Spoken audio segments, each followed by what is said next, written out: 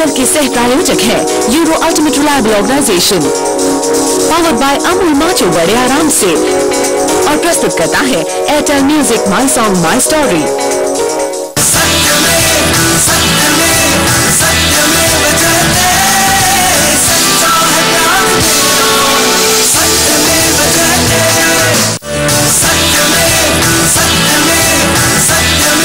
आज के बाद अगर मैं कभी डॉक्टर के पास जाऊँगा तो मैं इस चीज़ का बेहतर ख्याल रखूँगा कि जो वो दवाइयाँ लिख रहा है, जो वो टेस्ट लिख रहा है, वो मेरी बीमारी से संबंधित है भी कि नहीं है? ये वो संदेश है समाज के लिए, महिलाओं के लिए, स्वास्थ्य के लिए, जो डॉक्टर्स को भी सजग करते हैं और एक आम आदमी को भी ये बताते हैं कि ये देखना पड़ेगा कि डॉक्टर्स लंबा इलाज करते हैं, महँगा इलाज करते हैं। ऐसे डॉक्टर्स के पास में मरीजों को नहीं जाकर समाज में ये मैसेज देना चाहिए। गवर्नमेंट एक यूनिफॉर्म एक ऐसी पॉलिसी लेके आवे कि जो अवेलेबल अच्छी क्वालिटी का और सबसे सस्ता मॉलिक्यूल हो उसमें डॉक्टर्स को बाध्य किया जाए प्रिस्क्राइब करने के लिए। इससे पूरी जो पब्लिक है, हिंदुस्तान की गरीब जनता है, वो बेनिफिटेड होगी। तो उन्होंने जो जेनरिक दवाइयों की बात उठाई है कि हम जब इतनी सस्ती दवाइयाँ गरीब लोगों को या अमीर लोगों को मुहैया करवा सकते हैं तो उसे सरकार को उस पर तुरंत कदम उठाकर उसको तुरंत गरीब जनता को मुहैया करवाना चाहिए। जैसे हम सब लोगों की धारणा है कि डॉक्टर भगवान है, उसकी हर बात को मानना चाहिए। तो इस शो को देखने के बाद अब ऐसा लगता है कि हमें डॉक्टरों की हर बात पे हाथ मूंद के भरोसा नहीं करना चाहिए, बल्कि और जगह इन चीज़ों को परखना चाहिए। कुछ लोग खराब हो सकते हैं, पर आप एक ही ब्रश से सभी को नहीं रंग सकते। काफ़ी हद तक अभी भी काम ठीक ठाक हो रहा है। तो पेन को और आगे बढ़ाएँ और बहुत अच्छा प्रोग्राम है और इसको अच्छे तरीके से पेश किया जाए। लेकिन ये मेरी गुजारिश है कि इसको ब्रॉडर एस्पेक्ट में लेकर उसके पीछे कारण क्या है, कौन से सर्कमस्टांस है जिसके कारण समाज में बुराइयाँ पैदा होती हैं, तभी हम उसको दूर करके इसका पूरा इसका निदान कर पाएँगे। इसी सोसाइटी में अच्छे लोग भी हैं, उनको इसमें सिर्फ़ फ़र्क डालना है। ये नहीं सोच के चलना कि सारे ही डॉक्टर ऐसे करते हैं। और ये बहुत अच्छी बात है कि वो इस चीज़ को सारे, सारों की दृष्टि में एक्सपोजर में लेके आ रहे हैं, जिसके साथ अवेयरनेस पब्लिक की बढ़ेगी और उनके अपने हेल्थ में सुधार ज़्यादा अच्छा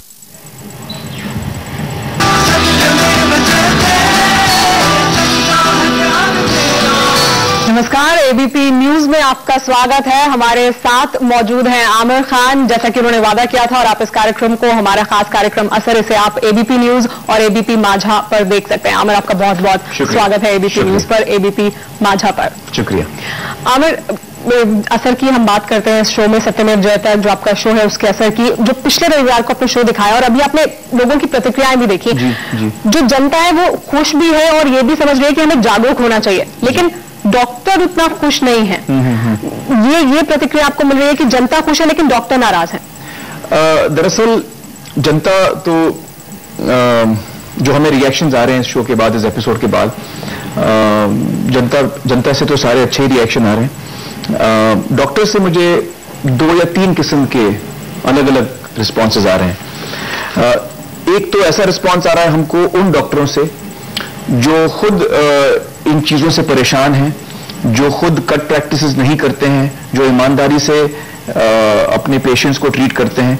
तो ये जो अच्छे डॉक्टर्स हैं जो अच्छा काम कर रहे हैं जो ईमानदारी से काम कर रहे हैं कट प्रैक्टिसेस नहीं कर रहे हैं अ, इनका जो रिस्पांस आया है मुझे उनकी चिट्ठियाँ आई हैं खत आए हैं। उन्होंने अ, मुझे शाबाशी दी है उन्होंने कहा है कि हम ये बहुत सालों से इस इस उलझन में थे कि हम इस समस्या से कैसे निकलें कोई इसके बारे में बात नहीं करता इसका कोई खुलासा नहीं करता। तो हम तो मेरा उन्होंने शुक्रिया अदा किया है कि मैंने हिम्मत दिखाई कि इन चीज़ों के बारे में हमने बातचीत की। तो वो डॉक्टर्स हैं वो तो खुश हैं मतलब सब नाराज़ सारे डॉक्टर भी नाराज़ नहीं है डॉक्टर खुश भी हैं। हाँ, बहुत ये सारे नहीं है कि सब डॉक्टर नाराज़ हो गए हाँ बहुत सारे डॉक्टर्स अच्छे हैं। बहुत सारे डॉक्टर्स अच्छे हैं, बहुत सारे डॉक्टर्स ऐसे हैं जो नहीं चाहते कि ये सारी चीज़ें हों, वो चाहते हैं कि डॉक्टर डॉक्टरी पर जो एक पिछले 10 15 20 सालों से जो एक लेबल लग रहा था जो लोग नाखुश थे उनसे या एक तरह से भरोसा उठ रहा था, ये सारे डॉक्टर्स जो अच्छे डॉक्टर्स हैं, वो इससे खुश नहीं है। वो चाहते हैं कि जो डॉक्टरी का पेशा है, वो इज्जतदार पेशा हमेशा माना जाता है और जो एक डॉक्टर को हम भगवान के रूप में देखते हैं, वही रूप दोबारा एक दफ़ा डॉक्टरों का, एक दफ़ा दिलों में, लोगों के दिलों में फिर आए। ये अच्छे डॉक्टरों का ये मानना है तो उन, उनसे मुझे बहुत इंकरेजमेंट और सपोर्ट मिला है। फिर कुछ डॉक्टर्स हैं जिन्होंने मुझे कहा है कि होता तो है लेकिन अब हम क्या करें? हम भी कमज़ोर पड़ जाते हैं हमको समझ में नहीं आता इससे हम कैसे निकलें लेकिन हमारे दिल को चोट भी पहुँची है। आ, उनके जज्बातों की मैं इज़्ज़त करता हूँ। उनकी जज्बातों की इज़्ज़त करता हूँ। यकीनन अगर आप फ़िल्म इंडस्ट्री के बारे में भी कल को कुछ कहें तो मुझे उस सच भी होगा तो मुझे दुख होगा। वो भी कहीं मान तो रहे हैं कि गलत है लेकिन मान कह रहे हैं हैं सबको मत ऐसे कहिए ये- हाँ, ये हाँ। इमेज हमारी जा रही है ये अच्छी बात नहीं है। जी और सबको तो हमने वैसे भी शो पे नहीं कहा हमने बाकायदा तीन बहुत ही बेहतरीन डॉक्टरों को हमारे शो में दिखाया है डॉक्टर देवी शेट्टी डॉक्टर गुलाटी और डॉक्टर समित शर्मा। तो हमने अच्छे डॉक्टरों का उदाहरण खूब दिया है उनसे लंबी लंबी बातचीत की है और कितना अच्छा काम कर रहे हैं वो हमने दिखाया है। और शो के दौरान लगातार मैंने कई दफ़ा कहा है कि सारे डॉक्टर्स ऐसे नहीं हैं बहुत सारे डॉक्टर्स हैं जिनके दिल में मरीज़ मरी- मरीज़ का जो दर्द है वही अहम है और वो और वो उसके लिए बहुत कुछ और उसके लिए हम उसके लिए सलाम करते हैं। तो हमने बाकायदा ये अच्छे डॉक्टरों की बात की। अब एक तीसरा रिस्पॉन्स भी आया है कि जो डॉक्टर्स बहुत ही नाखुश हैं मुझसे।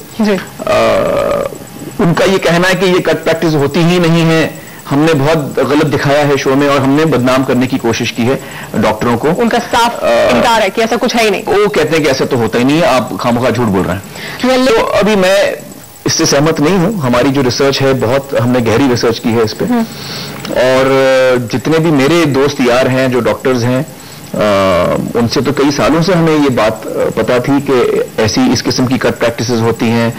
अस्पतालों में बहुत बहुत ज़्यादा होता है कि पेशेंट को डराया जाता है ताकि वो जल्द से जल्द ट्रीटमेंट शुरू कर दे या आईसीयू में। हमारे पास तो एक्चुअली हमने जो शो पे दिखाया है वो बहुत कम है। बहुत कम बहुत है। ऐसे बहुत केसेस आए हमारे सामने जो बहुत लेकिन आपने जो आपने शो पर दिखाया है जो जो सवाल आपने उठाए हैं जो नियत पर आपने सवाल उठाया है डॉक्टरों की नियत पर सवाल उठाया गया और किस तरह से जो मरीज़ है वो बेहाल हो जाता है किस तरह से उसकी जो बीमारी है उसका फ़ायदा भी कहीं ना कहीं कुछ कुछ प्रतिशत ही सही लेकिन ऐसे डॉक्टर हैं जो उसका फ़ायदा उठाते हैं। लेकिन एक और अहम बात है सरकार के पास एक ऐसी रिपोर्ट पड़ी है जिसके मुताबिक ऐसी बहुत सारी पॉपुलर दवाएँ हैं, जिन्हें हम बहुत आम भाषा में हम जानते हैं, जैसे कि क्रोस जो कोरेक्स सिरप है, या डाइजीन है, या ली 52 है, इस तरह की दवाएँ जो आमतौर पर लोग लेते हैं, ये दवाएँ फालतू हैं, बेअसर हैं, ये एक सरकारी रिपोर्ट कहती है, ये हमारी रिपोर्ट देखिए आप।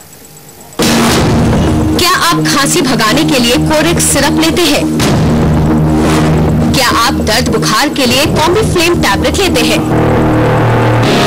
क्या कमज़ोरी भगाने के लिए बीकासूल कैप्सूल लेते हैं। क्या आप लिवर मज़बूत रखने के लिए लेते हैं लिव 52 सिरप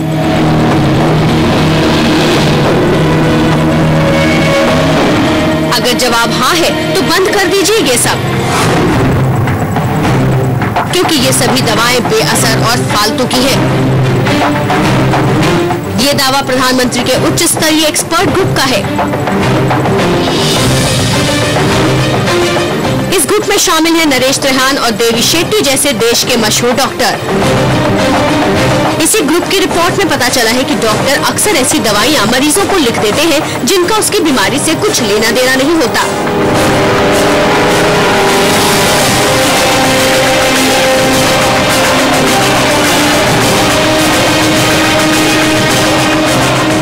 ऐसी दवाओं के विज्ञापनों की भरमार है, जो ये दावा करते हैं कि इस दवा के लेने से आप चुस्त दुरुस्त रहेंगे। आपकी खांसी तुरंत छूमंतर हो जाएगी, वगैरह वगैरह। रोज़ाना उसके 11 विटामिन और जिनसिंग मुझे चुस्त रखे।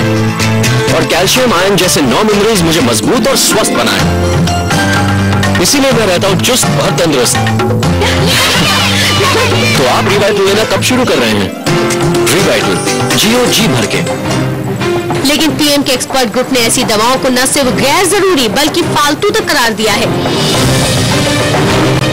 इस ग्रुप ने अपनी रिपोर्ट योजना आयोग को सौंपी है। योजना आयोग के अध्यक्ष खुद प्रधानमंत्री होते हैं। इसमें डाइजीन, जेलुसिल जैसी दवाओं को गैर ज़रूरी बताया गया है। बीकासूल और पॉलीबियन जैसी दवाओं के बारे में कहा गया है कि इनमें बेवजह के विटामिन हैं। कोरेक्स और लिव 52 जैसे सिरप को फालतू करार दिया गया है। योजना आयोग में सदस्य डॉक्टर सईदा हमीद के मुताबिक डॉक्टरों और दवा कंपनियों के गठजोड़ की वजह से ही ये दवाएँ मरीजों को लिखी जाती है। योजना आयोग की ही एक कमेटी डॉक्टरों के लिए सख्त दिशा निर्देश तैयार करने में भी जुटी है ताकि मरीजों से खिलवाड़ न हो सके। डिटरेंट पनिशमेंट्स क्योंकि दवाओं का मामला ऐसा ये है कि उसके उसमें तो आप मौत से खेल पीएम के एक्सपर्ट ग्रुप का कहना है कि हर साल ऐसी फालतू दवाओं पर लोग करोड़ों रुपए फूक देते हैं। कोरेक्स की सालाना बिक्री करीब 136 करोड़ रुपए है जबकि ये फालतू का सिरप है। फेंसिकल कफ सिरप की बिक्री 124 करोड़ 31 लाख रुपए है, जबकि ये भी फालतू है। लिव 52 की सालाना बिक्री पिचानवे करोड़ पचासी लाख रुपए है, और ये भी बेकार की दवा है। बीकासूर कैप्सूल की सालाना बिक्री बयानवे करोड़ 48 लाख रुपए है, जबकि ये भी फालतू है। डेक्सोरेज टॉनिक की सालाना बिक्री 77 करोड़ 4 लाख रुपए है, जबकि ये भी घटिया है। कॉम्बी फ्लेम टैबलेट की सालाना बिक्री छिहत्तर करोड़ तीन लाख रुपए है, जबकि ये भी फालतू है। डाइजीन की सालाना बिक्री तिरसठ करोड़ उनचास लाख है, जबकि ये बेवजह दी जाती है। पॉलीबियन की सालाना बिक्री चौवन करोड़ चौबीस लाख रुपए है, जबकि ये भी फालतू की ही दवा है। जेलोसिल एमपीएस की बिक्री तिरपन करोड़ पच्चीस लाख रुपए है, जो बेवजह दी जाती है। रिवाइटल की बिक्री है तिरपन करोड़ नौ लाख रुपए, जबकि इसका असर भी कुछ नहीं होता। हैरत की बात तो यह है कि ऐसी दवाइयाँ खरीदते वक्त लोग डॉक्टर की सलाह भी लेने की जहमत नहीं उठाते हैं। जो लोग संपन्न लोग हैं, अगर वो छोड़ दें तो जो गरीब इंसान है वो समझेगा कि ये सफ़ेद, नीली, ये क्या है दवा, वो तो गरीब आदमी जब मौत और ज़िंदगी के शिकंजे में होगा तो वो तो वहीं जाएगा, चाहे उसके लिए वो कंगाल हो जाए। तो हमको सबको एक एग्ज़ाम्पल देना चाहिए जेनेरिक मेडिसिन के लिए। एक हिंदुस्तानी अपने आप को थोड़े वक्त बाद एक डॉक्टर समझने लगता है। क्योंकि उसी से भी पूछो घर में कि भाई ये किसी का पेट खराब होगा तो ये दवाई ले लो जी। तो ये सही बात है कि यूजलेस या इरेशनल यूज़ मेडिसिन की हो रही है सारा दिन। डॉक्टरों की संस्था इंडियन मेडिकल एसोसिएशन का कहना है कि ये रिपोर्ट सरकार के पास है। अब इस पर फ़ौरन कार्रवाई होनी चाहिए। ये इशू जो है, ये ड्रग कंट्रोलर ऑफ़ इंडिया के अंतर्गत आता है। उनको अगर कोई भी मेडिसिन जो कि इलीगली बिना यूज़ बिना प्रॉपर यूज़ के बेनिफिट के, अगर मार्केट में किसी ब्रांड से बेची जा रही है तो वो ड्रग कंट्रोलर को उस पर कंट्रोल करना चाहिए और उसको रोकना चाहिए। तो अगर गवर्नमेंट की कोई ग्रुप ऐसा कह रहा है प्लानिंग कमीशन इस बारे में बात कर रही है तो I am sure drug controller को उस पर एक्शन लेना चाहिए दवाइयों को बैन पीएम के उच्च स्तरीय एक्सपर्ट ग्रुप ने सिर्फ़ दवाइयों पर ही नहीं, बल्कि देश में मौजूदा हेल्थ सिस्टम की समीक्षा भी की है और उसमें मौजूद खामियों को उजागर किया है। ग्रुप ने कहा है कि प्रभावी और सस्ती दवाइयाँ वैक्सीन और तकनीक मुहैया कराना बेहद ज़रूरी है, ताकि देश में हेल्थ सिक्योरिटी जैसा कोई सिस्टम बनाया जा सके। मगर ये तब होगा जब एक्सपर्ट ग्रुप की रिपोर्ट पर अमल किया जाएगा, क्योंकि ये रिपोर्ट भी सरकार को सौंपे कई दिन बीत चुके हैं, लेकिन किया कुछ नहीं गया है।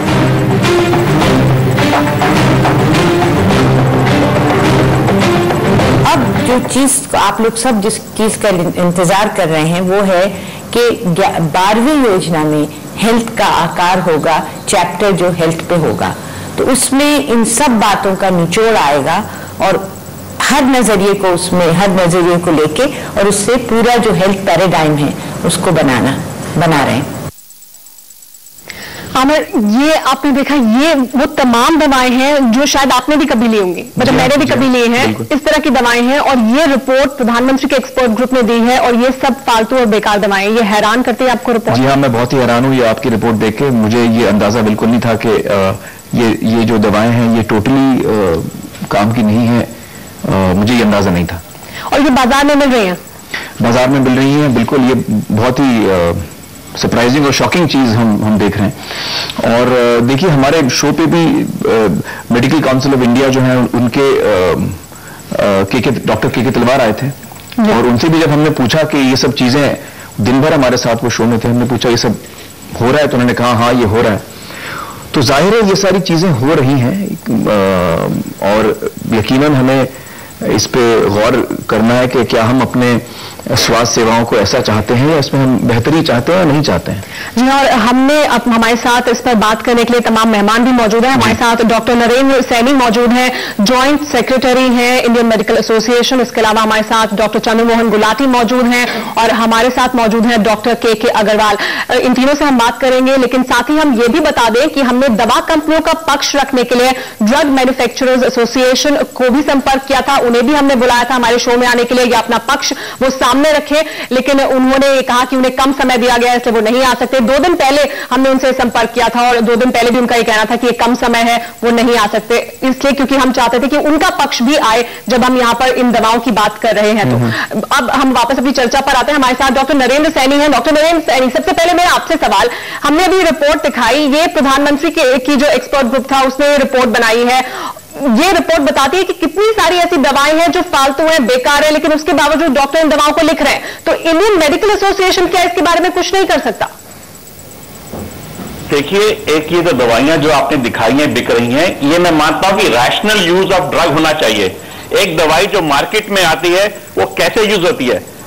थर्टी परसेंट जो है प्रोफेशनल डॉक्टर्स लिखते हैं। उसके अलावा सेवेंटी परसेंट जो दवाइयाँ हैं या तो वो अनक्वालिफाइड क्रैक्स लिखते हैं या उसको लिखता है एक पेशेंट जो उसके पास पुरानी प्रिस्क्रिप्शन होती है जो 10 दिन के लिए दवाई लिखती होती है वो उसके साथ चलता रहता है। या कुछ केमिस्ट लोग या पेशेंट खुद जाकर दवाई लेता है क्योंकि ये ओवर द ड्रग काउंटर पे ओवर द काउंटर पे ड्रग्स मिलती हैं। तो मेरा कहने का सिर्फ़ ये तात्पर्य है कि जो प्रोफेशनल लिखता है वो मैं अमित साहब को भी बताना चाहता हूँ कि वो पूरी इंटेंशन के साथ अपने दिल से और उसके मन में सिर्फ़ एक ही बात होती है कि उसका पेशेंट ठीक होना चाहिए क्योंकि मेरे लिए एक प्रोफेशनल डॉक्टर के लिए उसका सबसे बड़ा कमीशन वो है कि उसका पेशेंट ठीक हो जाए, क्योंकि एक यही एक मेरा एडवर्टीजमेंट का तरीका है। मेरी एथिक्स कहते हैं और कोई डॉक्टर कोई एडवर्टीजमेंट नहीं कर सकता। उसका सिर्फ़ एक ही तरीका यदि वो पेशेंट ठीक होता है, दूसरे पेशेंट को बताएगा। आज की तारीख में 70 परसेंट ऑफ़ जो बीमारियाँ हैं, वो प्राइवेट डॉक्टर्स ठीक करते हैं, क्योंकि सरकार के पास इतने साधन नहीं है कि उनको ठीक करवाए।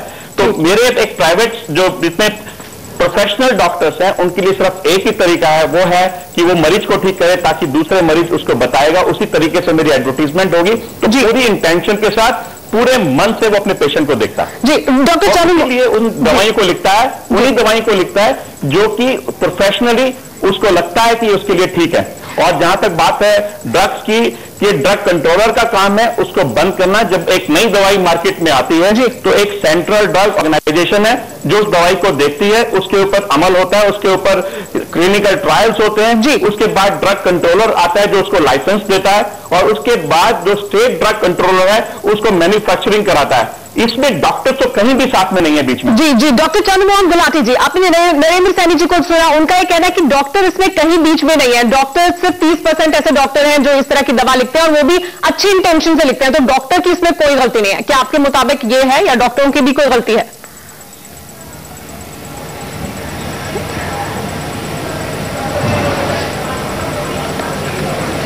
देखिए पहले तो मैं जरा आपके रिकॉर्ड को स्ट्रेट कर दूँ। जी। आ, वो ये है कि ये जो अभी जिस कमीशन जिस आप रिपोर्ट की बात कर रहे हैं ये दूसरी रिपोर्ट है। 2006 में एग्जैक्टली exactly एक कमीशन बना था जिसका नाम था National Commission on Macroeconomics and Health उनके दो को चेयरमैन थे। एक हेल्थ मिनिस्टर साहब थे और एक फाइनेंस मिनिस्टर थे उस टाइम के। जी। जितनी भी दवाइयों के नाम आपने अभी गिनाए हैं ये 10 की 10 दवाइयाँ 2006 में भी ये कही गई थी कि ये बिल्कुल बेकार हैं। पर इसके बावजूद भी अब छह साल हो गए हैं तो वो पहली कमीशन की रिपोर्ट को तो पता नहीं कहाँ ताक में फेंक दिया अब एक नई रिपोर्ट आ गई है। तो इससे तो गवर्नमेंट की मंशा के ऊपर बहुत डाउट है। एक तो मैं ये आपको बताना चाहता हूँ। अब दूसरी बात पे आते हैं कि इनमें डॉक्टरों का कोई रोल नहीं है ये सैनी साहब ने कहा है। अ, मैं आपका ध्यान अभी 8 मई लास्ट मंथ यानी के अ, को पार्लियामेंट्री कमेटी ऑन हेल्थ की एक अट्ठासी पेज की एक रिपोर्ट छपी है जिसमें डॉक्टर्स के जो रोल है उसके ऊपर काफ़ी उन्होंने गहराई से देखा है। और उन्होंने क्या कहा? उन्होंने ड्रग कंट्रोलर जनरल से 42 नई ड्रग्स के सारे दस्तावेज़ मांगे। सारे दस्तावेज़ मतलब ए टू जेड और उन्होंने क्या पाया? उन्होंने ये पाया कि जिन केसेस में ड्रग कंट्रोलर महोदय ने डॉक्टर्स की ओपिनियन मांगी और मैं वो उन डॉक्टर की बात नहीं कर रहा हूँ जो छोटी मोटी जगह प्रैक्टिस कर रहे हैं। मैं उनकी बात कर रहा हूँ जो All India Institute of Medical Science में प्रोफेसर हैं या Post Graduate Institute of Education and Research Chandigarh में प्रोफेसर हैं या ऐसे ही बड़े कॉलेजेस में बड़े बड़े अहदे पे हैं। और उन्होंने जो अपनी ओपिनियन दी उसको जब कमेटी ने देखा तो आपको सुन के हैरानी होगी कि उसमें क्या निकला। उसमें यह निकला कि ये 30 डॉक्टर्स के नाम उन्होंने दिए हैं। और उन्होंने ये देखा कि इन डॉक्टर ने अपनी ओपिनियन तो दी नहीं जो कंपनियों ने लिख के उनको दिया वही का वही उसको दस्खत करके ड्रग कंट्रोलर जनरल के पास भेज दिया। तो इससे तो ये साबित होता है कि जो डॉक्टर्स हैं वो भी किसी न किसी इस लूप में हैं जिसमें ड्रग कंट्रोलर ड्रग कंपनी और डॉक्टर्स की मिली भगत है। तो इसलिए मैं ये बात मानने को तैयार नहीं हूँ कि डॉक्टर्स इन्वॉल्व नहीं है। ये बात मानने के लिए वो तैयार नहीं है डॉक्टर गुलाटी की डॉक्टर्स ज़िम्मेदारी है वो कहीं इसमें शामिल नहीं है। डॉक्टर के के अग्रवाल भी हमारे साथ मौजूद है। डॉक्टर के के अग्रवाल डॉक्टर्स एक काफ़ी संख्या है डॉक्टर की, जो सत्यमेव जयते का शो आया, उसको लेकर वो नाराज़ हैं। जबकि लगातार हम जब डॉक्टर से बात करें अभी हमारे शो पर भी डॉक्टर गुलाटी मौजूद है, और आपसे भी इससे पहले हमारी चर्चा हुई है हमारे शो के दौरान। मानते हैं वो कहीं ना कहीं कि इस तरह की कमियाँ हैं। फिर फिर नाराज़गी क्यों है सत्यमेव जयते के शो से? ये दवाएँ जो है, ये फिर भी लिखी जा रही है, जबकि 2006 में ही बता दिया गया कि ये दवाएँ बेकार हैं, फालतू हैं दवाएँ। नाराज़गी मेडिकल प्रोफेशन को जो नाराज़गी है, आमिर खान से उसके कुछ बेसिक पॉइंट्स हैं। जी। पहला पॉइंट ये है कि जब भी आप कोई भी न्यूज़ डॉक्टर्स के अगेंस्ट में दे रहे हो तो उनका पक्ष भी साथ में लो। जितने भी केसेस दिखाए गए उसमें डॉक्टर का पक्ष उस डॉक्टर को कॉन्टेक्ट करके उसका पक्ष नहीं लिया गया। इसलिए डॉक्टर्स कि लोग इसमें नाराज़ थे। दूसरी चीज़ जो है कि आपने जो कहा कि डॉक्टर्स जेनरिक दवाइयाँ नहीं लिखते। आप जेनरिक दवाइयाँ आज हम सब लोग लिख रहे हैं बाज़ार में मिलती नहीं। डॉक्टर के में मिलती नहीं। जेनरिक दवाओं पे तो जेनरिक दवाओं पे तो हम अभी आगे आएँगे। अभी जो हम बात कर रहे हैं वो उन दवाओं की जो दो हज़ार छह में बता दिया गया कि फालतू है बेकार है। मैं मैं मैं आ रहा हूँ मैं आ रहा हूँ भी आ रहा हूँ। मैं सिर्फ़ पॉइंट बता रहा हूँ कि मेडिकल प्रोफेशन को कहाँ पे इसके अंदर में इस प्रोग्राम के अंदर में जो डिफिकल्टी आई थी। और तीसरी तीसरी कोई भी अगर मेडिकल प्रोफेशन के अंदर मेडिकल प्रोफेशन को यह लगा कि डॉक्टर्स के अगेंस्ट में ये प्रोग्राम है सिस्टम के अगेंस्ट में नहीं है। हम ये कहते हैं कि सिस्टम खराब है डॉक्टर्स खराब नहीं है। आज एक अस्पताल के अंदर में पचास हर अस्पताल में पूरे इंडिया में पचास पचास मार्केटिंग एजेंट्स हैं। वो मार्केटिंग एजेंट्स जो हैं वो जाके कमीशन बांटते हैं। डॉक्टर नहीं बांटते डॉक्टर नहीं लेते। जो सिस्टम है उसके अगेंस्ट में अटैक करो डॉक्टर्स के ऊपर में। और जहाँ तक सवाल है इन दवाइयों का ये दवाइयाँ भारत के अंदर में ड्रग कंट्रोलर ने पास करी है। उन्होंने इसको बैन नहीं किया। इसका मतलब है कि ये दवाइयाँ फालतू नहीं है। अगर ये फालतू होती तो सरकार इसको बैन कर देती। अगर ये दवाइयों का एग्ज़ाम्पल लेके चलो, हमारी कंट्री में बी ट्वेल्व की डेफिशिएंसी बहुत ज़्यादा है वेजिटेरियंस के अंदर में। उनको बी ट्वेल्व की डेफिशिएंसी दूर करने के लिए बी कॉम्प्लेक्स चाहिए। अब आप सिर्फ़ एक बिकलसुल का नाम ले रहे हो। बिकलसुल जैसी कम से कम हज़ार कंपनियाँ हैं जिसको एडवांटेज मिल जाएगा कि बिकलसुल तो बैन हो रही है बाकी चलेंगी। अगर आप लेके चले एसिडिटी को वहाँ पे डाइजीन जेलुसिल आज भी यूज़ होती है और यूज़ होगी और आप इसको बैन नहीं कर सकते क्योंकि इसकी यूटिलिटी है। अगर खांसी के लिए शरबत नहीं दोगे जी। खांसी का शरबत कोई ना कोई तो दोगे। नहीं डॉक्टर के के अग्रवाल डॉक्टर के के अग्रवाल लेकिन फिर इस बात से तो ये बात पॉइंट ले लो। जी जी। आपने लिस्ट फिफ्टी टू के बारे में बोला। इस बात से तो डॉक्टर के के अग्रवाल लेकिन इससे तो ये साबित होता है एलोपैथिक डॉक्टर डिसाइड डॉक्टर के के अग्रवाल नहीं है। इससे तो ये साबित होता है कि दवा गलत है दवा फालतू है ये रिपोर्ट तो 2006 में आ गई क्योंकि सरकार ने बैन नहीं किया क्योंकि सरकार ने मना नहीं किया इसलिए डॉक्टर लिख रहे हैं। ये बैन हो भी नहीं सकती। ये दवाइयाँ बैन नहीं हो सकती। आप कफ सिरप को, बी कॉम्प्लेक्स को, डाइजीन को जेल्यूसिल को बैन नहीं कर सकते। जहाँ तक ली फिफ्टी टू का सवाल है, उसके एक्सपर्ट्स आयुर्वेद है। एलोपैथी डॉक्टर्स नहीं बोल सकते कि ये खराब है, कि ये फालतू है। इस कमेटी के अंदर में आयुर्वेद के डॉक्टर्स नहीं थे। Let Ayurvedic doctors come back and से कि ये बेकार है, क्योंकि उनकी दवाइयाँ वो लिखते हैं। तो इस पर आमिर कुछ कहना चाहते हैं। से अब डेक्स ऑरेंज है अब आप डेक्स ऑरेंज के ऊपर अटैक कर रहे हो कि डेक्स ऑरेंज खराब दवाई है। जी। ये एक आयरन सिरप है। आयरन सिरप जिन लोगों को full dose oral supplement tolerate नहीं होता वहाँ पे हमारे को लिक्विड सिरप देना पड़ता है। Why we are attacking only one company everywhere इस पर आमिर कुछ कहना चाहते हैं? आमिर आमिर की बात सुन लेते हैं। जी जी। बनाती हैं। जी डॉक्टर के आमिर इस पर कुछ कहना चाहते हैं? जी आमिर। इंडिया की भी एक पॉलिसी है। डॉक्टर गवर्नमेंट ऑफ़ इंडिया की भी एक पॉलिसी है जिसमें हम आयरन देते हैं। आयरन देते हैं हम पेशेंट्स को। गवर्नमेंट इंडिया की पॉलिसी है जिसमें हम जितनी प्रेग्नेंट फीमेल्स हैं उनको आयरन देना होता है उनको फॉलिक एसिड देना होता है। हमने एक अभियान चलाया था आफ्टर द डेटा कि हम उनको डिवॉर्म कर रहे हैं सारे बच्चों को। तो ये कुछ पॉलिसीज़ हैं बेस उनके ऊपर बेस्ड होती है। जब हम देखते हैं कि वहाँ की जो एक पर्टिकुलर पॉपुलेशन है उनको किस चीज़ की कमी है? इस चीज़ को आप प्रोफेशनल ओपिनियन रहने दीजिए इसके ऊपर ऐसे अटैक मत करिए। डब्ल्यूएचओ भी ये कहता है कि जी जी। आ- आमिर इस पर कुछ कहना चाह रहे हैं। डॉक्टर के के अग्रवाल आमिर मैं आपके पास आऊँगी लेकिन उससे पहले डॉक्टर डॉक्टर गुलाटी हमारे साथ मौजूद है। डॉक्टर गुलाटी के के अग्रवाल डॉक्टर के के अग्रवाल का ये कहना कि ये दवाएँ ज़रूरी है इसलिए लिखी जा रही है और सरकार ने तो बैन लगाया नहीं है इसलिए डॉक्टर लिख रहे हैं।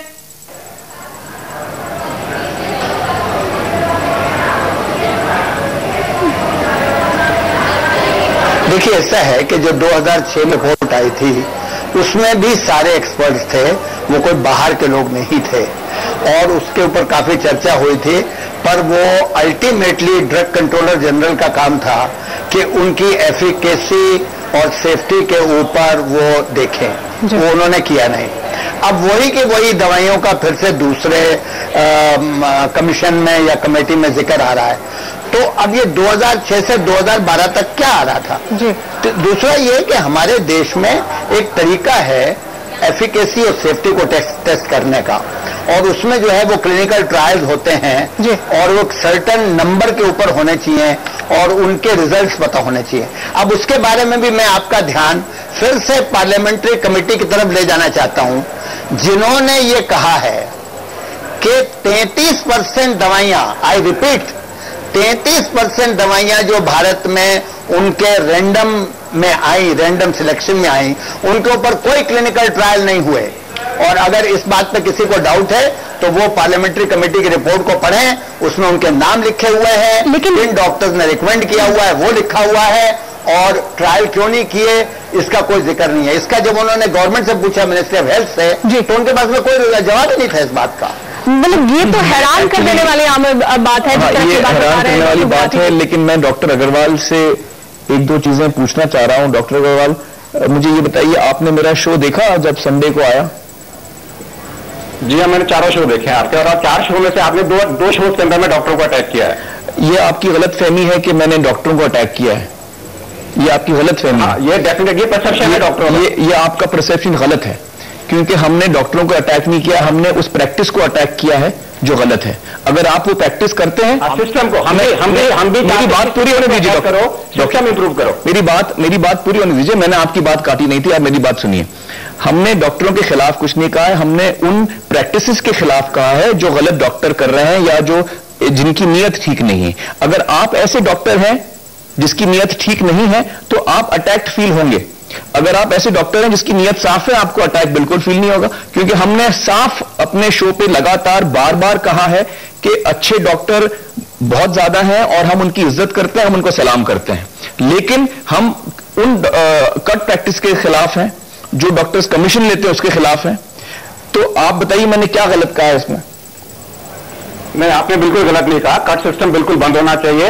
और अगर किसी डॉक्टर ने कहा है कि कट सिस्टम नहीं होता मैं भी उसको मानने को तैयार नहीं हूँ। तो मैंने और क्या गलत मैंने तो पिछले शो के अंदर में शाम को मैंने ये भी कहा था कि सब डॉक्टरों को लिखना चाहिए कि ना मैं कमीशन लेता हूँ ना मैं कमीशन देता हूँ। तो मैंने जो पॉइंट उठाया था वो ये था कि आपने बहुत बड़ा इशू उठाया था जेनरिक मेडिसिन की उसमें भी आता हूँ हम उसमें भी जेनरिक मेडिसिन लिखते हैं तो मार्केट में अवेलेबल नहीं है। जी, नहीं जी। उस पर भी मैं generic medicine generic medicine generic medicine उस पर भी हम चर्चा करेंगे। मैं आपको उस पर भी मैं आपको बताता हूँ। जेनेरिक मेडिसिन के बारे में मैं आपको के लिए दो मिनट दो मिनट रुक जाइए। थोड़ा दो मिनट रुक जाइए दो मिनट रुक जाइए। डॉक्टर डॉक्टर सुन लेते हैं आमिर को। सुन लेते हैं डॉक्टर के के अग्रवाल सुन लेते हैं हाँ, मेरी बात सुनिए। जेनरिक मेडिसिन का जो आपने मुद्दा उठाया है आपने कहा कि मैंने अपने शो पे कहा कि डॉक्टर्स जेनरिक मेडिसिन का नाम क्यों नहीं लिखते? ये मैंने शो पे कहा ही नहीं।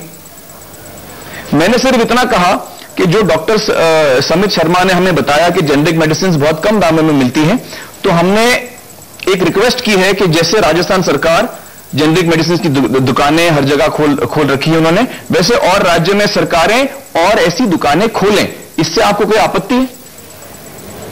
बिल्कुल नहीं है। हम चाहते हैं, हम तो कहते हैं कि दिल्ली के अंदर में पूरे इंडिया में हर जगह में अगर जेनरिक दवाइयाँ लिखती हैं तो तो जेनरिक दवाइयाँ अगर सस्ती पेशेंट को मिलती है हम हम सब यही चाहेंगे।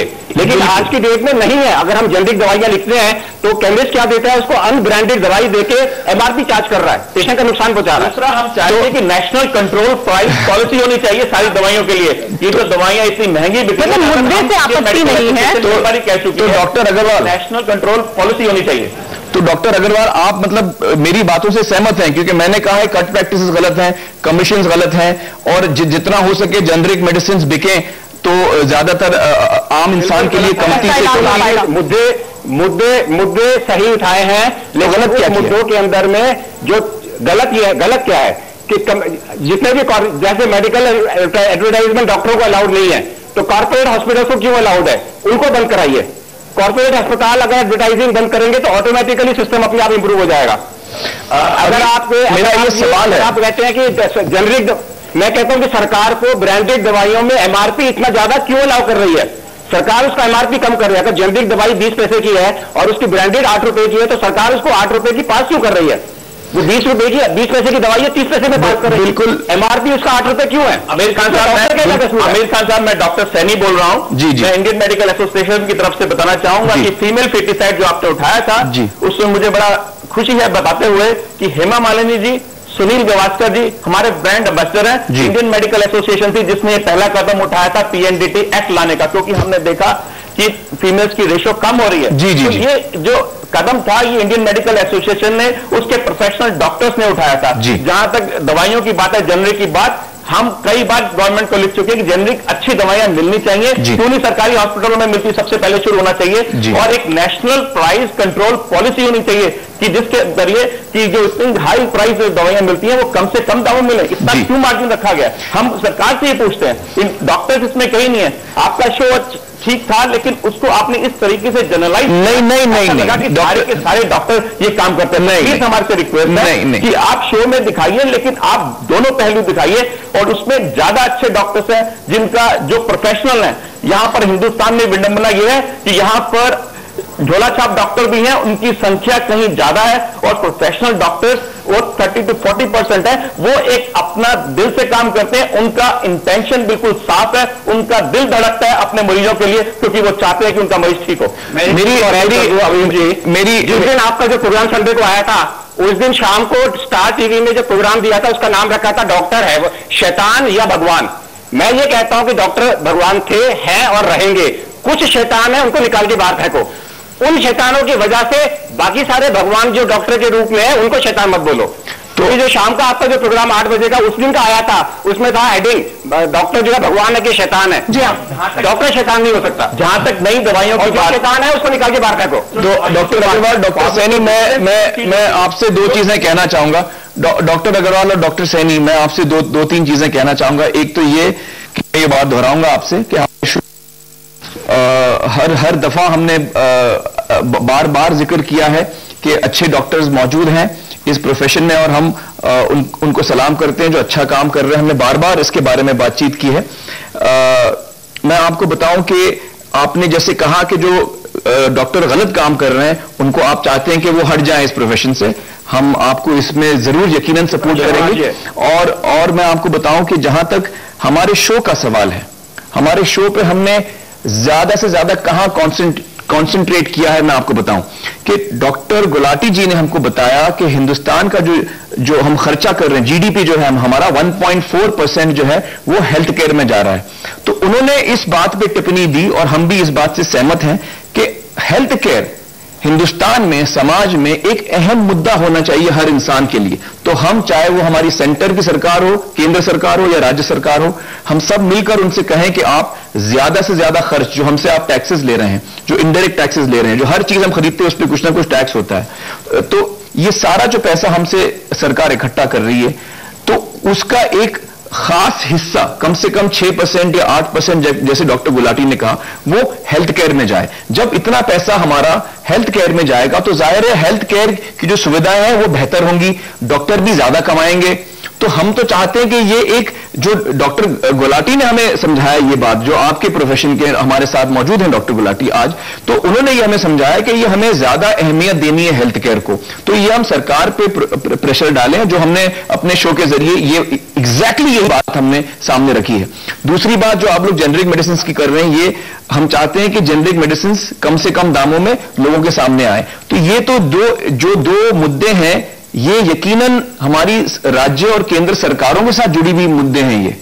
तो इन पे हमने खास रोशनी डाली है। खास हमारा बल्कि हमारा सवाल है हमारे हफ़्ते का हम हर हफ़्ते एक सवाल पूछते हैं। तो हमारा हफ़्ते का सवाल ये था इस इस हफ़्ते का कि क्या हिंदुस्तान की आवाम चाहती है कि हर राज्य राजस्थान सरकार की तरह हर राज्य में भी जेनरिक मेडिसिन की दुकानें जगह जगह खुलें? तो ये हमारा अहम सवाल है। जी हाँ। ये यही और इसको लेकर पहल भी हुई है। कई राज्यों में इसको लेकर पहल हुई है, जो जेनरिक दवाएँ हैं, उनको लेकर पहल हुई है। फ़िलहाल लेकिन हम रुक रहे हैं, लेकिन ब्रेक के बाद जब हम वापस आएँगे तो बहुत बड़ा खुलासा करेंगे खुद केंद्रीय स्वास्थ्य मंत्री।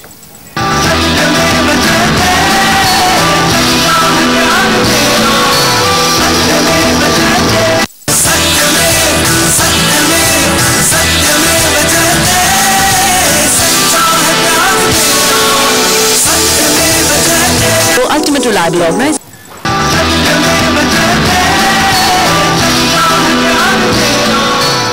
एक बार फिर से आपका स्वागत है असर में। आइए आपको बताते हैं कि केंद्रीय स्वास्थ्य मंत्री क्या बता रहे हैं। केंद्रीय स्वास्थ्य मंत्री से जब हमने ये सवाल पूछा कि सरकार क्या कर रही है, लालची डॉक्टरों पर लगाम कसने के लिए तो क्या कहना था उनका? सुनिए। डॉक्टर पैसों के लिए इलाज लंबा न खींचे, बेवजह दबा न दे। इसके लिए सरकार क्या कर रही है? तो उससे डॉक्टर का और अस्पताल का तो भला होता है, लेकिन पेशेंट, खास तौर से जो गरीब है या मिडिल क्लास है, वो गरीबी की तरफ़ धकेला जाता है। और ऐसे केसेस हमारे पास तकरीबन तकरीबन हर दूसरे दिन देश के विभिन्न क्षेत्रों से आते हैं, दिल्ली से भी आते हैं। और कई जगह हमें प्राइवेट हॉस्पिटल से उठा के डॉक्टर ये मरीज़ को, जो कि वहाँ इलाज नहीं करा सकता है, उसको हमें ऑल इंडिया मेडिकल इंस्टीट्यूट में या दूसरे गवर्नमेंट अस्पताल में भर्ती करना पड़ता है। इसीलिए हमने 2010 में पार्लियामेंट में दोनों शब्दों में एक कानून पास किया है क्लिनिकल एस्टेब्लिशमेंट एक्ट और इस क्लिनिकल एस्टेब्लिशमेंट एक्ट में बहुत सारी चीज़ें हैं। एक नेशनल लेवल पे हमारा काउंसिल होगा स्टेट लेवल पे काउंसिल होगी डिस्ट्रिक्ट लेवल पे काउंसिल होगी।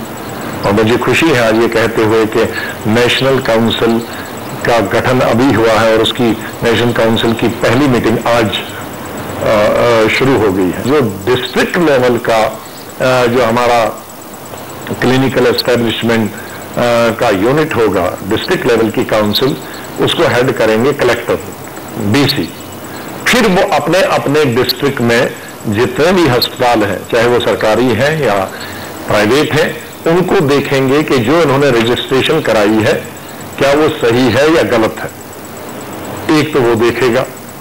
और उसके साथ साथ ही ये जब कैटेगराइजेशन हो जाएगी नेशनल लेवल पे, उसमें अस्पतालों को ये भी बताया जाएगा कि ए अस्पताल में अगर ये ये बीमारी है तो ऑपरेशन करने की दिल के ऑपरेशन करने की ये रेंज होगी एक फिक्स रेंज की जाएगी। किडनी का अगर ऑपरेशन होगा तो इतना पैसा लिया जा सकता है। एक, एक उसकी रेंज निर्धारित की जाएगी। अगर गॉल ब्लेडर का ऑपरेशन करना होगा तो एक निर्धारित रेंज की जाएगी। तो जो भी रेंज निर्धारित की जाएगी ऑपरेशन की या दवाइयों की, वो हर अस्पताल को, वो सरकारी हो, गवर्नमेंट हो, या सरकारी हो, या प्राइवेट हो, छोटा हो या बड़ा हो, उसको अपने अस्पताल के सामने वो हर भाषा में वो लगाना होगा बोर्ड कि फला चीज़ के लिए ये निर्धारित है, ये फिक्स किया गया है, रेट इससे ज़्यादा नहीं ले सकते। और यदि अगर उस रेट से किसी ने ज़्यादा लिया तो जो डिस्ट्रिक्ट लेवल की कमेटी है काउंसिल है, जिसको कलेक्टर हेड करे हैं, वो उसके सामने शिकायत करेगा। और शिकायत करने के बाद वो पेनल्टी देगा और एक्शन ले सकता तो ये केंद्रीय स्वास्थ्य मंत्री का बताना कि एक काउंसिल बनाई जाएगी जो कि बताएगी कि रेट लिस्ट रेट लिस्ट लगेगी अस्पतालों के बाद। स्वास्थ्य मंत्री ने एबीपी न्यूज़ को बताया कि जो नेशनल काउंसिल है, उसका गठन हुआ है। आज पहली बैठक भी हुई है इस नेशनल काउंसिल की और इसके बाद असर यह होगा कि एक रेट लिस्ट लगेगी अस्पतालों के बाहर, जहाँ पर बताया जाएगा कि इस ऑपरेशन का इतना खर्चा होगा। ये हर भाषा में आपको हर अस्पताल के बाहर लिखना होगा। आमिर, क्या आपको लगता है इससे कुछ असर पड़ेगा? देखिए मुझे लगता है कि हमें डॉक्टर गुलाटी से पूछना चाहिए कि इसका असर होगा नहीं होगा क्योंकि वो इसमें ज़्यादा तजुर्बेकार है क्योंकि ऑलरेडी हमारे पास मेडिकल काउंसिल ऑफ़ इंडिया है और हमारे पास हर राज्य में जैसे महाराष्ट्र मेडिकल काउंसिल है हर, हर राज्य में मेडिकल काउंसिल मौजूद तो है। आपके मुताबिक एक और काउंसिल बनाने से क्या कोई असर होगा या मैं पूछ रहा हूँ मुझे पता नहीं आप डॉक्टर गुलाटी क्या आपको लगता है कि ये जो एक काउंसिल बनाने की बात की जा रही है जिसके मुताबिक रेट लिस्ट लगेगी अस्पतालों के बाहर की इतने में इलाज होगा इस बीमारी का क्या उससे कुछ असर होगा?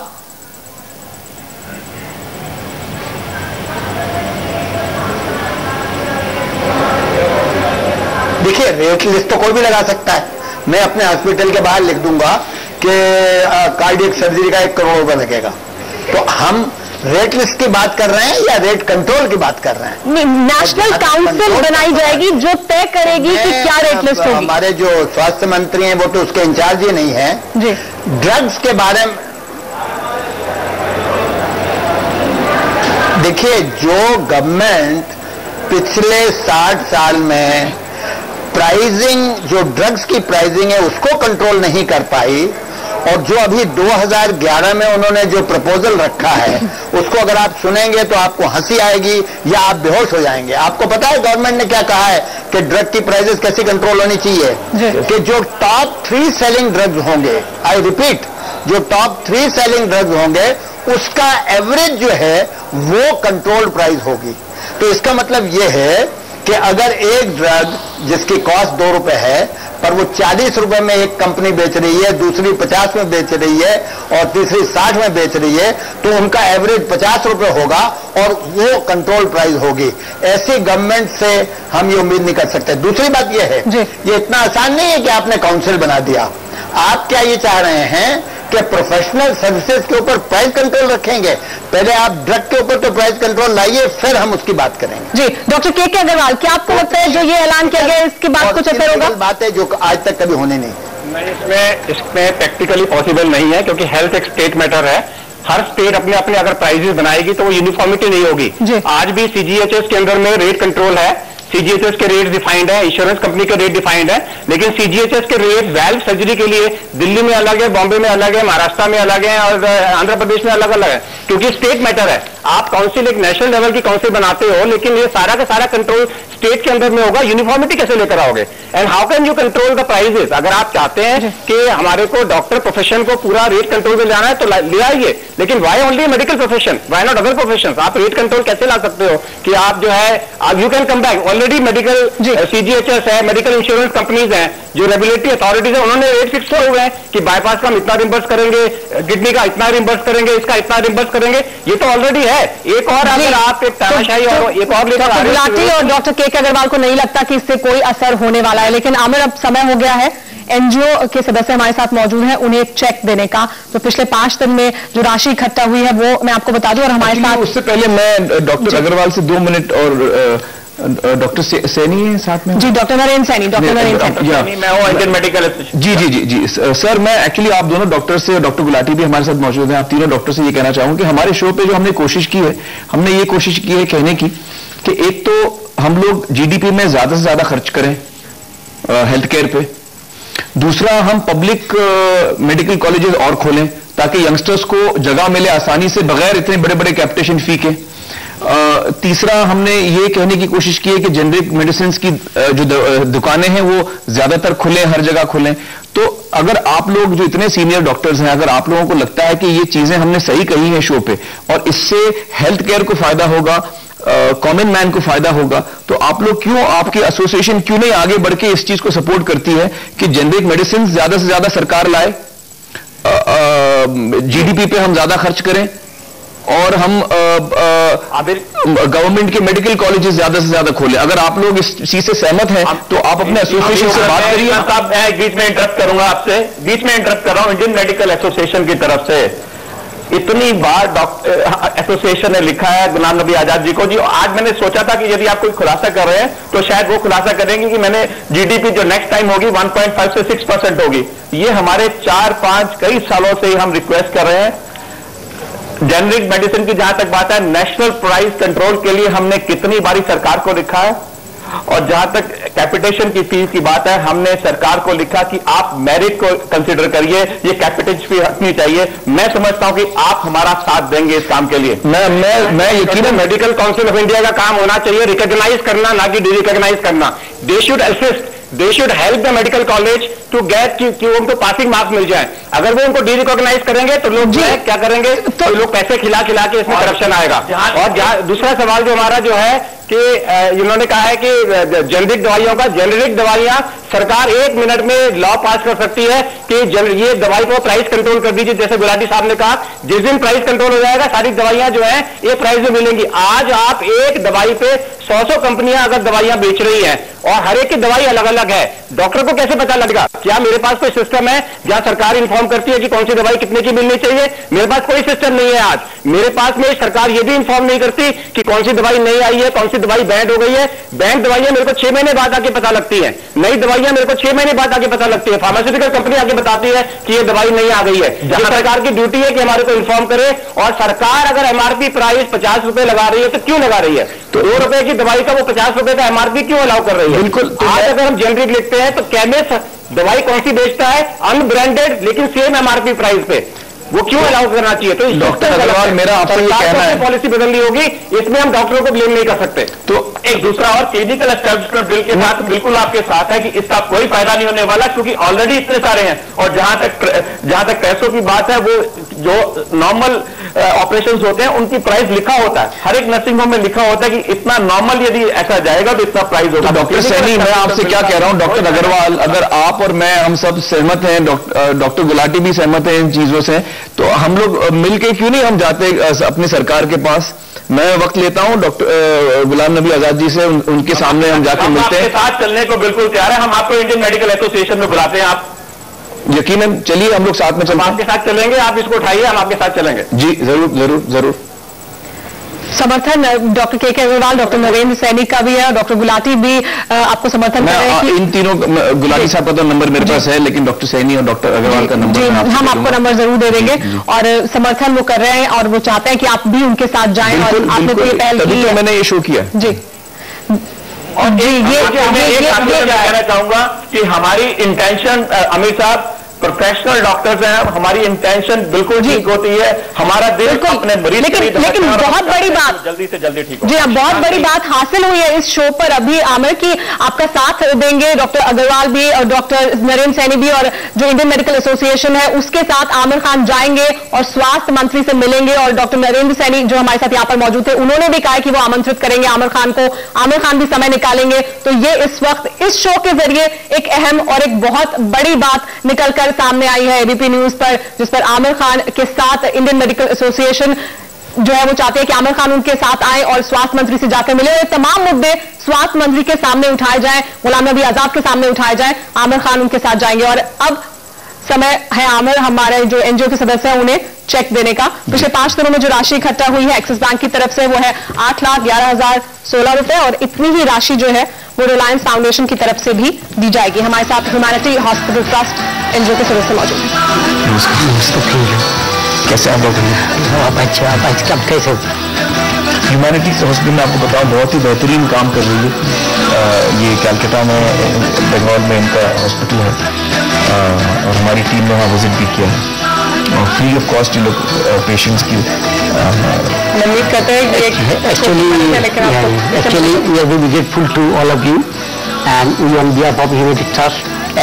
हॉस्पिटल एक्सप्रेस और heart filler gratitude thanks for your kind active cooperation by organizing the such king program and you have done a lot of and I request you to have a visit what uh, the money that you are giving to your hospital. Yeah, yeah. I will definitely Yeah. come. I will what, definitely come. Yeah, for which we are uh, utilizing, utilizing this.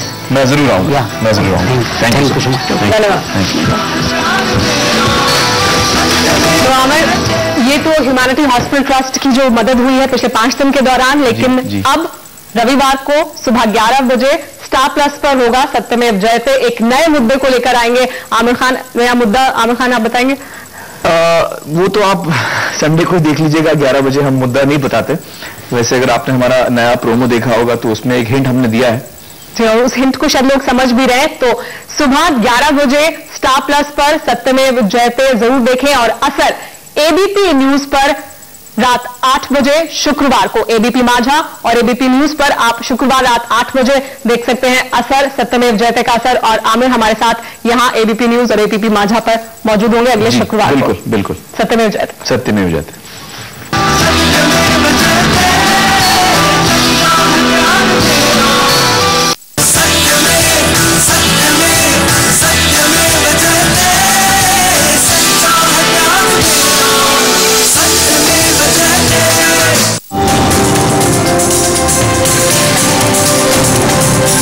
देख रहे हैं ABP news आपको रखे आगे।